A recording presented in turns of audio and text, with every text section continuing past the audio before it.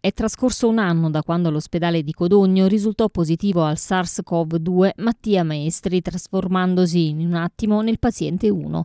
In meno di una settimana i contagi aumentarono, coinvolgendo diverse zone d'Italia e nel giro di un mese gli ospedali erano al collasso. L'Italia era impreparata, senza mascherine, un piano pandemico e personale sanitario precario. Iniziarono a susseguirsi un numero sempre più elevato di morti nelle abitazioni e negli ospedali. I contagiati erano soli a combattere combattere contro un nemico invisibile senza una cura precisa. Da quel momento il virus inizia a galoppare, le terapie intensive si intasano, le giornate trascorrono con l'attesa di conoscere il bollettino quotidiano. Il 9 marzo il governo italiano annuncia un lockdown e quasi tutto il paese si firma, fatta eccezione per alimentari e farmacie. Si poteva uscire di casa solo con l'autocertificazione per motivi di lavoro, di salute o per necessità. Per poter uscire all'interno del proprio comune occorre attendere la fase 2 e solo a giugno verrà attivata attivata la fase 3, ritornando quasi alla normalità con protocolli precisi da rispettare durante l'estate. Due mesi più tardi, con la riapertura delle scuole, la curva dei contagi risale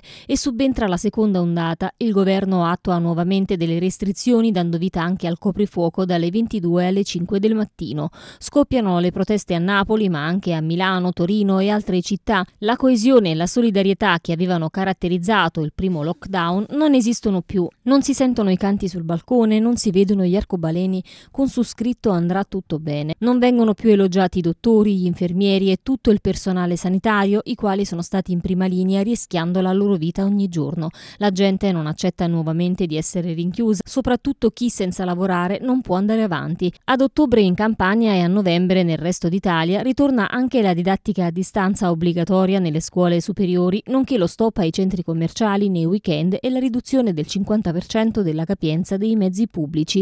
L'Italia si colora per poter dare restrizioni specifiche alle regioni con i dati preoccupanti e allo stesso tempo permettere ai territori meno colpiti dal virus di continuare ad avere maggiore libertà.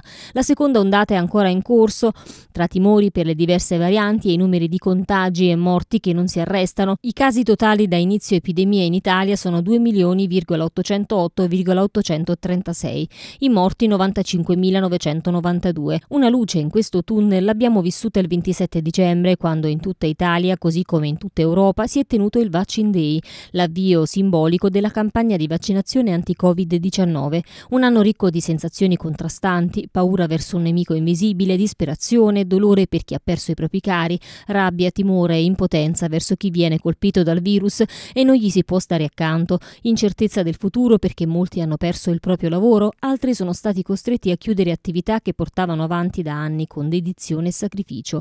In in troppi casi è prevalsa l'incoscienza e leggerezza, superficialità e diffidenza. C'è chi ha guardato anche il lato positivo, apprezzando le piccole cose, sentendosi grati perché a volte la vita ti porta a correre senza soffermarsi e guardare realmente ciò che conta. La battaglia verso il Covid non è terminata, ma il vaccino può farci sperare in un ritorno alla normalità, la stessa che abbiamo dato per scontato senza renderci conto che è l'essenza della vita.